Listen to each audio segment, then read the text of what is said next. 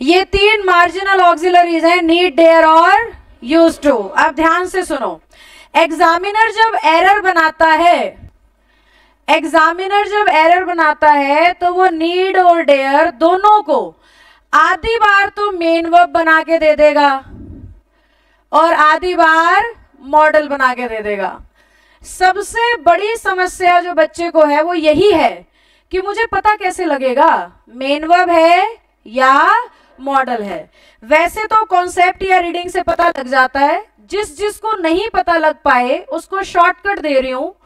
जहाँ पे भी नीड और डेयर मॉडल होंगे, आपको सेंटेंस में इनके बिल्कुल साथ या तो नॉट दिखेगा, या फिर इन शब्दों के बिल्कुल साथ या तो क्या दिखेगा? नॉट या क्या दिखेगा? फ़र्स्ट फॉर्म, नॉट या फ़र्स्ट फॉर्म देखते ही समझ जाना ये मॉडल है। अब इससे फ़र्क क्या पड़ेगा?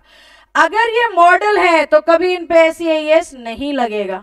और अगर ये मेन वर्ब है तो एस एस भी लग सकता है ईडी भी लग सकता है आईएनजी भी लग सकता है, समझते हो?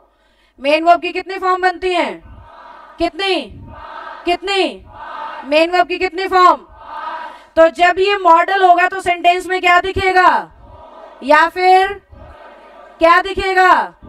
या फिर नॉट या फ़र्स्ट फॉर्म दिखने से क्या मान लोगे? और अगर मॉडल है तो इसकी फॉर्म चेंज अगर ये मेन वर्ब है तो टू के साथ फ़र्स्ट फॉर्म दिखेगा तुम्हें लाइन में। अगर टू के साथ फ़र्स्ट फॉर्म दिखे तो तुम्हें इसकी फॉर्म चेंज करनी है according to the subject subject singular होगा तो वर्ब सिंगुलर आ जाएगी। सब्जेक्ट प्लेरल होगा तो वर्ब प्लेरल आ जाएगी। पर अगर ये मॉडल है तो सब्जेक्ट कैसा भी हो, कोई फ़र्क नहीं पड़ेगा। हर केस में सेम टू सेम चलेगा। क्या हम समझ पाए बात को? सभी बच्चे समझ पाए? क्वेश्चन लिख के पूछू आंसर दोगे? ठीक है। जिनने होमवर्क नहीं किया, उन्हीं से पूछूँगी। मैंने कहा he dares not go anywhere जिससे पूछूँगी, वो बताएगा, सारे चुप रहेंगे बाकी। सोच लो और देख लो सारे।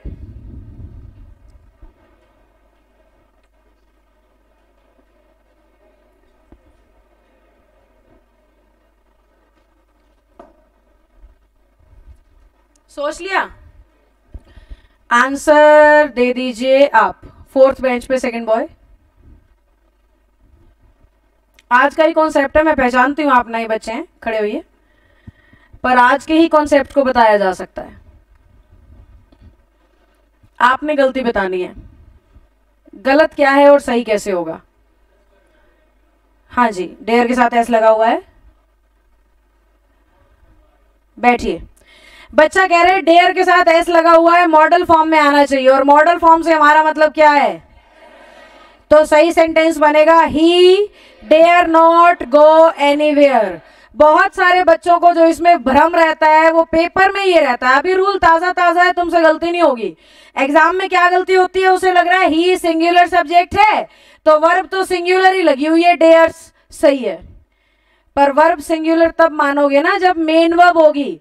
ये शब्द यहाँ पे मेन वर्ब है ही नहीं। ये किसका काम कर रहा है? मॉडल का और मॉडल का काम कर रहा है तो सब्जेक्ट के हिसाब से कोई बदलाव नहीं होगा। कभी कैन पे एस देखा है? कभी शुड पे आईएनजी देखा है? कभी कुड पे ईडी देखा है? कुडिड। शुडिंग। कैंस नहीं ना? क्योंकि वो मॉडल है। सब्जेक्ट के अनुसार बदलने की कोई ज़रूरत नहीं है।